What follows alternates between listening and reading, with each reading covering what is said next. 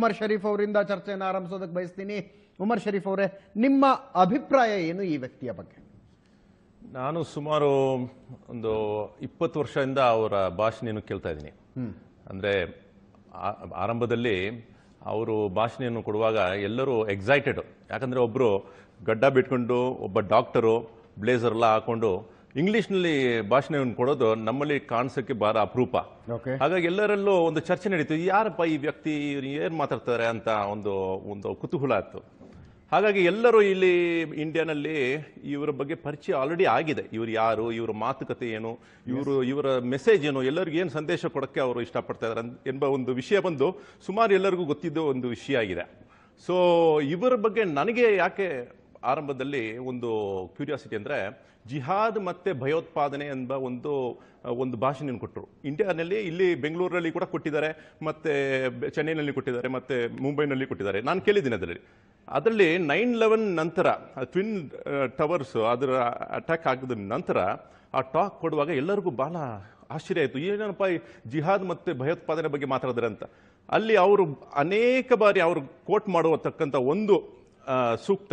ಕುರಾನ್ನಲ್ಲಿಂದ ಮನ್ ಕತಲ ನಫ್ಸಂ ಬಿಗೈರಿ ನಫ್ಸಿನ್ ಔ ಫಸಾದಿನ್ ಫಲ್ ಫಿಲ್ ಅರ್ದಿ ಫಕ ಅನ್ನಮ ಕತಲನ್ ನಾಸ ಜಮಿಯ. ಯಾವ ಒಬ್ಬ ವ್ಯಕ್ತಿ ಅನ್ಯಾಯವಾಗಿ ಮತ್ತೊಬ್ಬನನ್ನು ಕೊಂದಾಕ್ತಾನೋ ಪ್ರಪಂಚನಲ್ಲಿ ಇರುವ ಎಲ್ಲರನ್ನು ಕೊಂದಾಕುವುದಕ್ಕೆ ಸಮ. ಈ ವಿಷಯವನ್ನು ಅವರು ಎಲ್ಲರಿಗೂ ಮುಂದೇನೂ ಹೇಳಿದ್ದಾರೆ. ಸೊ ಹಾಗಾಗಿ ನಾವು ನೋಡುವಾಗ ಈ ವ್ಯಕ್ತಿ ಬಗ್ಗೆ ತಪ್ಪಾದ ಅಭಿಪ್ರಾಯ ಇರಲಿಲ್ಲ. ಆದರೆ ಸುಮಾರು ಒಂದೆರಡು ಎರಡು ವರ್ಷದ ಮುಂಚೆ ಮಾಧ್ಯಮಗಳಲ್ಲಿ ನಾವು ಕೇಳಿ ಬಂದಿದ್ದು ಏನಂದ್ರೆ ಡೇ ಸ್ಟಾರ್ನಲ್ಲಿ ಅಲ್ಲಿ ಬಾಂಗ್ಲಾದೇಶ್ನಲ್ಲಿ ಒಂದು ಅಟ್ಯಾಕ್ ಆದ ನಂತರ ಅಲ್ಲಿ ಯಾವುದೇ ಒಬ್ಬ ವ್ಯಕ್ತಿಯ ಬಗ್ಗೆ ಫೇಸ್ಬುಕ್ನಲ್ಲಿ ನೋಡುವಾಗ I am inspired by doctor Zakir Naik ಅಂತ ಅವನು ಬರೆದಿಟ್ಟಿದ್ದಾನಂತೆ. ನನಗೆ ಜಾಕಿರ್ ನಾಯ್ಕ್ ಅಂದ್ರೆ ನನಗೆ ಬಹಳ ಪ್ರೇಮ ಅಂದ್ರೆ ವಿಶ್ವಾಸ ಅಂತ. ಸೊ ಹಾಗಾಗಿ ಅದರ ಮೇಲೆ ಅವರು ಡೇ ಸ್ಟಾರ್ ನ್ಯೂಸ್ ಏನ್ ಮಾಡಿದ್ದಾರೆ ಈ ವಿಷಯವನ್ನು ಅಲ್ಲಿ ಅವರು ರೆಕಾರ್ಡ್ ಮಾಡಿರುವಾಗ ಅಲ್ಲಿಂದ ಚರ್ಚೆ ಶುರುವಾಯಿತು. ಆದರೆ ಸುಮಾರು ಒಂದು ಒಂದು ವಾರ ಹತ್ತು ದಿನ ನಂತರ ಡೇ ಸ್ಟಾರ್ ಅವರು ಆ ಮಾತನ್ನು ಅವರು ವಾಪಸ್ ತಗೊಂಡ್ಬಿಟ್ರು. ನಾವು ಹೇಳಿದ ಮಾತು ಅವರು ಬಂದು ಭಯೋತ್ಪಾದನೆಯನ್ನು ಉಂಟು ಮಾಡುವರು ಅಂತ ಇಲ್ಲ. ಆದರೆ ಆ ಫೇಸ್ಬುಕ್ನಲ್ಲಿರುವ ನಲ್ಲಿ ಇರುವ ಒಬ್ಬ ವ್ಯಕ್ತಿ ಅವನು ಇಂತಹ ಮಾತನ್ನು ಅವನು ಹೇಳಿದಾನಂತ. ಸೊ ಹಾಗಾಗಿ ಇದರಲ್ಲಿ ಚರ್ಚೆ ರೆಸ್ಟೋರೆಂಟ್ ದಾಳಿಯ ದಾಳಿಕೋರರು ಭಯೋತ್ಪಾದಕರು ಜಾಕಿರ್ ನಾಯಕ್ ಅವರಿಂದ ಇನ್ಸ್ಪೈರ್ ಆಗಿದ್ರು.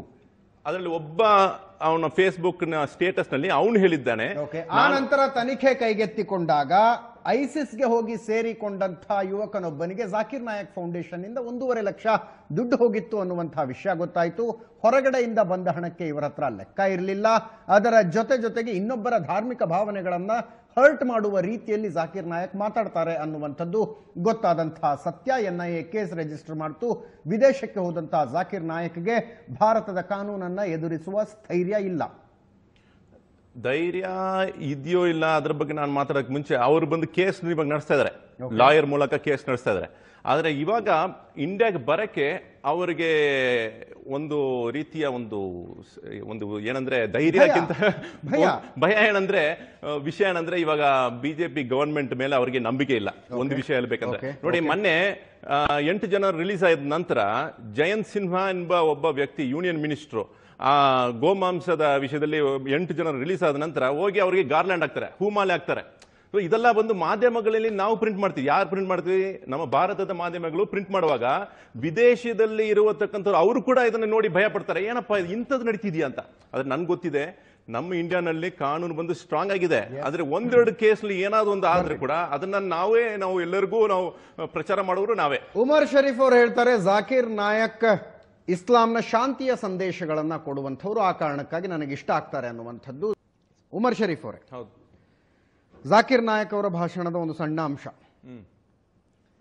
ಮುಸ್ಲಿಂ ಸೇನೆ ಇನ್ನೊಂದು ಸೇನೆಯ ಮೇಲೆ ದಾಳಿ ಮಾಡಿದಾಗ ಶತ್ರುವನ್ನ ಕೊಂದು ಅವರ ಹೆಣ್ಣು ಮಕ್ಕಳನ್ನ ಸೆಕ್ಸ್ ಕ್ಲೇವ್ ಆಗಿ ಬಳಸಿಕೊಳ್ಳುವ ಅಧಿಕಾರವನ್ನ ಸ್ವತಃ ಅಲ್ಲಾಹು ಮುಸ್ಲಿಮರಿಗೆ ಕೊಟ್ಟಿದ್ದಾನೆ.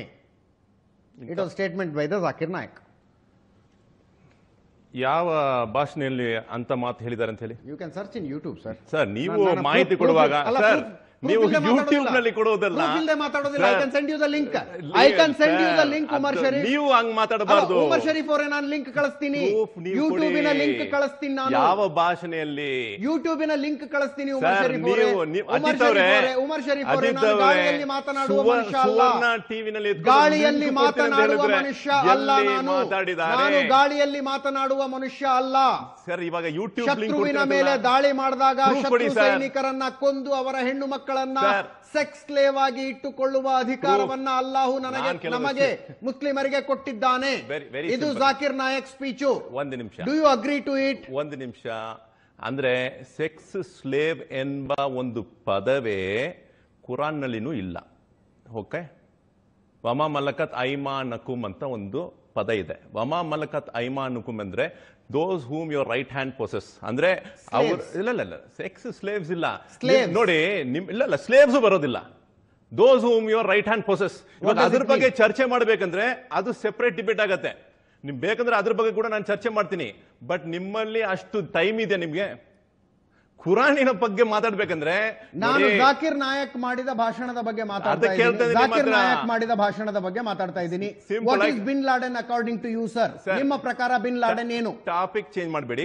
ಫಸ್ಟ್ ವಿಷಯ ಜಾಕಿರ್ ನಾಯಕ್ ವಿಷಯನೇ ಮಾತಾಡ್ತೀನಿ ಉಮರ್ ಶರೀಫ್ ಅವರೇ ಜಾಕಿರ್ ನಾಯಕ್ ವಿಷಯ ಮಾತಾಡ್ತಾ ಇದ್ದೀನಿ ಮಾತಾಡ್ತೀನಿ ಮಾತಾಡ್ತೀನಿ ಯಾವ ಭಾಷಣೆಯಲ್ಲಿ ಸೆಕ್ಸ್ ಸ್ಲೇವ್ ಎಂಬ ಪದವನ್ನು ಇಸ್ತಮಾಲ್ ಮಾಡಿದ್ದಾರೆ? ನೀವ್ ಹೇಳಿ ಅದನ್ನ. ನಾನು ಯೂಟ್ಯೂಬ್ ಲಿಂಕ್ ಕಳಿಸ್ತೀನಿ ನಿಮಗೆ. ಯಾರೋ ಒಬ್ರು YouTube ನಾನು not speaking without proof proof ಕೊಡ್ರಿ. ಮಾತಾಡ್ತಾ ಇಲ್ಲ ನಾನು. ಇವಾಗ ನಾನು ಮಾತಾಡದೆ ಪ್ರೂಫ್ ಜೊತೆಗೇನೆ ಮಾತಾಡ್ಬೇಕಂತಿದ್ದೀನಿ. ನೀವು ಕೊಡಿ ಅಂತ ಕೇಳ್ತಾ ಇದೀನಿ ಪ್ರೂಫ್ ಕೊಡಿ. Okay let us take a small break break ಮುಗಿಸ್ಕೊಂಡು ಬರೋವಷ್ಟರಲ್ಲಿ ಉಮರ್ ಶರೀಫ್ ಅವರಿಗೆ ನಾನು ಪ್ರೂಫ್ ಕೊಟ್ಟಿರ್ತೀನಿ. That will be played in the channel ಒಂದು ಸಣ್ಣ ಬ್ರೇಕ್ ಮುಗಿಸಿ ಬರ್ತೀನಿ ಕೇಂದ್ರ ವಿಶೇಷ ಕಾರ್ಯಕ್ರಮಕ್ಕೆ ಮತ್ತೊಮ್ಮೆ ಸ್ವಾಗತಕ್ಕಿಂತ ಮುಂಚೆ ಉಮರ್ ಶರೀಫ್ ಅವರು ಸೆಕ್ಸ್ ಸ್ಲೇವ್ಸ್ ಅಂದ್ರೆ ಯುದ್ಧ ಕೈದಿಗಳಾಗಿರುವ ಮಹಿಳೆಯರ ವಿಷಯದಲ್ಲಿ ಜಾಕಿರ್ ನಾಯಕ್ ಮಾತನಾಡಿರುವ ವಿಡಿಯೋ ತೋರಿಸಿ ಅಂತ ಹೇಳಿದ್ರು. ವಿಡಿಯೋ ನಿಮ್ಮೆದುರಿಗಿದೆ ನೀವು ನೋಡಿ ಉಮರ್ ಶರೀಫ್ ಅವರು ನೋಡ್ಲಿ. ಆ ನಂತರ ಚರ್ಚೆಯನ್ನು ಮುಂದುವರೆಸ್ತೀನಿ. When were captive from both the side, the men and the women, they became slaves. Though if analyze, which also says in Surah Nisa chapter number 4, that if you do not have the means to get married, then marry a slave woman and give her freedom in mahar. So here the Quran says and encourages that if you don't have the means to get married, so marry a slave woman and give her her freedom as mahar. So now the thing is that, so it's preferable to marry. Vice versa, it's not possible. Vice versa is not possible. It is only for the female women slaves that the man can have sex. The Quran doesn't say the vice versa. Umar Sharif ಅವರೇ ಹೌದು ನಾನು first ಇಂದ ನಿಮ್ಮ ಹತ್ರ female ಕೇಳ್ಕೊಳ್ಳೋದಂದ್ರೆ female slaves ನೀವು first ನೀವು ಉಪಯೋಗ ಮಾಡಿದ ವರ್ಡ್ ಬಂದು ಸೆಕ್ಸ್ ಸ್ಲೇವ್ ಎಂಬ ಒಂದು ವರ್ಡ್ ಯೂಸ್ ಯು ಮಾಡಿದ್ದೀರಾ ಕ್ಯಾನ್ ಹ್ಯಾವ್ ಸೆಕ್ಸ್ ನೋಡಿ. You can have sex with the female female slave ಅದನ್ನ what does that mean what does that mean what does that mean ಅದು ಆಮೇಲೆ ಬರ್ತೀನಿ. ಒಪ್ಕೊಳ್ತೀರಾ? ನೀವು ಹೇಳಿದ ಪದ ಅವರು ಉಪಯೋಗ ಮಾಡಿ ಸೆಕ್ಸ್ ಸ್ಲೇವ್ ಶಬ್ದ ಇಲ್ಲ. ಇಲ್ಲ ಇಲ್ಲ. ಒಪ್ಕೊಳ್ತೀರಲ್ಲ? Having sex with the female slave ಈ ಶಬ್ದ ಇದೆ. ಒಪ್ಕೊಳ್- ಒಪ್ಕೊಳ್ತೀರಾ? ರೈಟ್ ಇದೇ ನಾನು ಕೇಳಿದ್ದು Yes. ವಮ ಮಲಕತ್ ಐಮಾನುಕುಮ್ ಎಂಬ ಪದ ಇದನ್ನು ಇಂಗ್ಲೀಷ್ನಲ್ಲಿ ನೀವು ಹೇಳಬೇಕಂದ್ರೆ ಕಾನ್ಕ್ಯೂಬೈನ್ ಅಂತ ಒಂದು ಪದ ಇದೆ. ಅದನ್ನು ನೀವು ಕನ್ನಡದಲ್ಲಿ ಅದರ ಅನುವಾದ ಕೇಳಬೇಕಂದ್ರೆ ಉಪಪತ್ನಿ. ಉಪಪತ್ನಿ ಸೆಕ್ಸ್ ಸ್ಲೇವ್ ಅಲ್ಲ.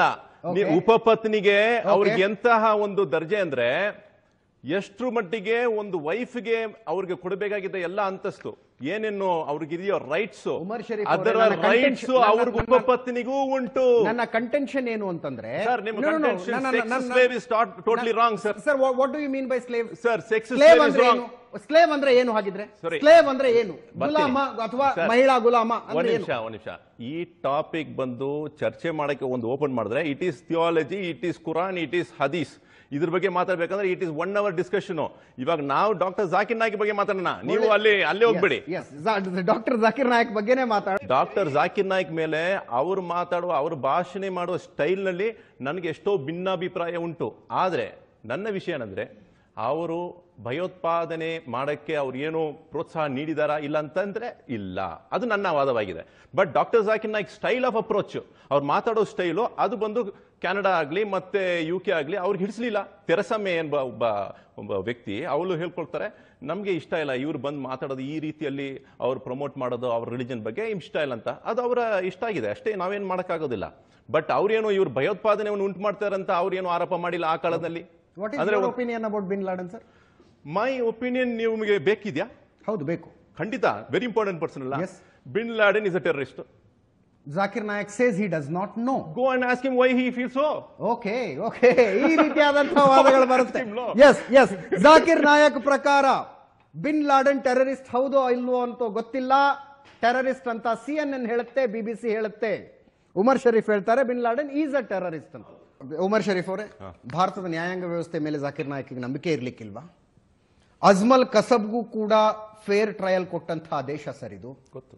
ಟೈಗರ್ ಮೆಮೋನಿಗೆ ಫೇರ್ ಟ್ರಯಲ್ ಕೊಟ್ಟಂತಹ ದೇಶ ಎಸ್ ನಮ್ಮ ದೇಶ ಟೈಗರ್ ಮೆಮೋನಿಗೆ ಫೇರ್ ಟ್ರಯಲ್ ಕೊಟ್ಟಂತಹ ಕೊಟ್ಟಂತ ದೇಶ ಅಫ್ಜಲ್ ಗುರುನ ನೇಣಿಗೆ ಹಾಕೋದಕ್ಕಿಂತ ಮುಂಚೆ ನೇಣಿಗೆ ಹಾಕಬೇಡಿ ಅಂತ ಒಂದು ಪಿಟಿಷನ್ ಬಂದ್ರೆ ಮಧ್ಯರಾತ್ರಿ ಬಾಗಿಲು ತೆಗೆದು ಕೋರ್ಟಿನ ಬಾಗಿಲು ತೆಗೆದು ವಿಚಾರಣೆ ನಡೆಸಿದಂತಹ ದೇಶ ಇದು.